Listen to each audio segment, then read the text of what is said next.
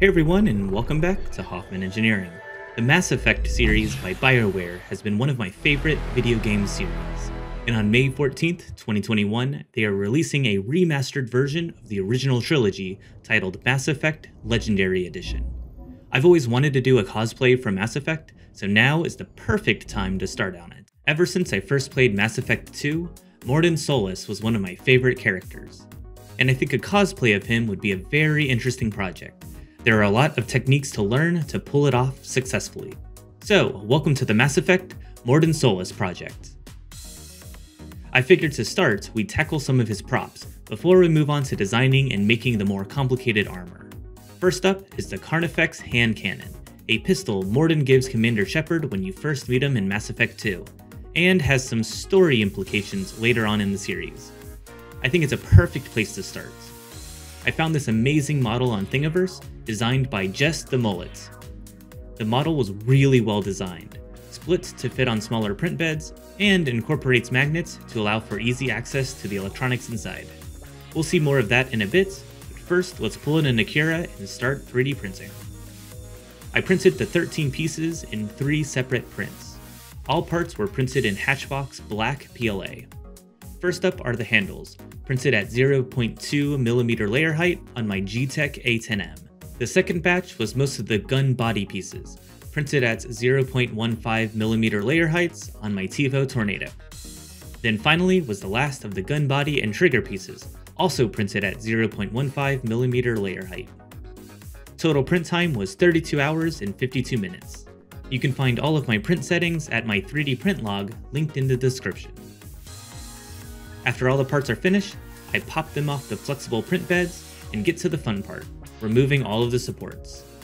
These pieces had a large amount of support material, so pliers, X-Acto knives, and snippers were used to carefully remove them all. There's something oddly satisfying peeling away the supports. In total, it took about an hour to clean up all the prints, and I was left with this large mountain of plastic. The parts of this print that touched the support pillars generally ended up a little rough, so I wanted to sand the parts before I assembled them. To make my life a little easier, I grabbed a pretty flat piece of wood and used spray adhesive to glue two sheets of sandpaper to it. One 150 grits, the other 220 grit. This gives me a flat surface to use as a sanding block. I then used it to sand all of the rough pieces of the print, mostly where the parts will be touching when assembling. One trick is to use the edge to let you sand some of the tougher to reach areas. After sanding, it's time for assembly. When Jess the Mullet designed the parts, they added in alignment holes which used pieces of 1.75mm filament as pins to help align the parts together. So I drilled out the holes to make sure they're right size for the filaments, and then I cut up a few lengths of filaments and superglued them into position. For most of the gluing, I used E6000, which is a semi-flexible adhesive that I find works great on PLA. It can have a smell though, and takes up to 72 hours to fully cure, so use proper ventilation.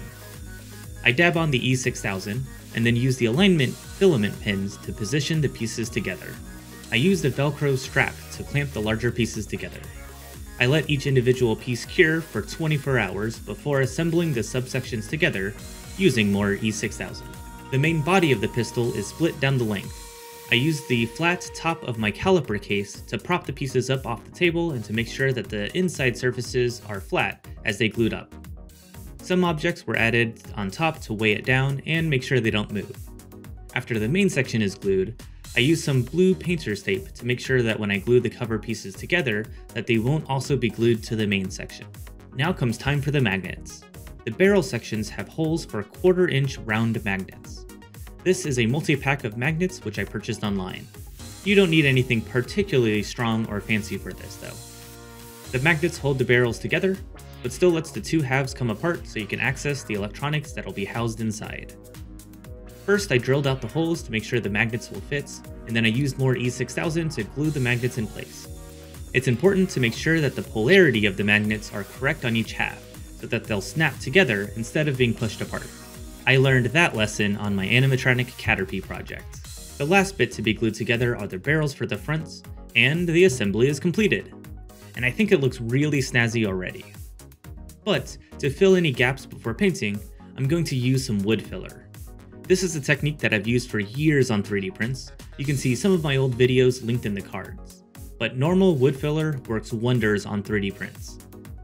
I press some of the filler into the areas that need a little help, like the gently sloping area on the main body and on the underside of the grip.